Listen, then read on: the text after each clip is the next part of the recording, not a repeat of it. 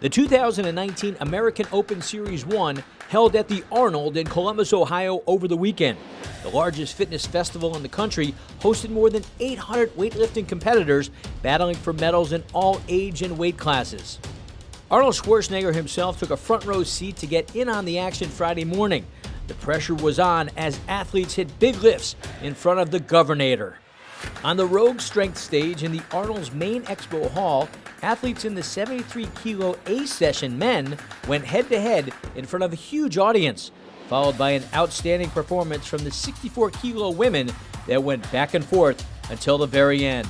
A jam packed four days of weightlifting competition, fans packed the house all weekend long to cheer along as their favorite athletes hit personal records and took home the hardware.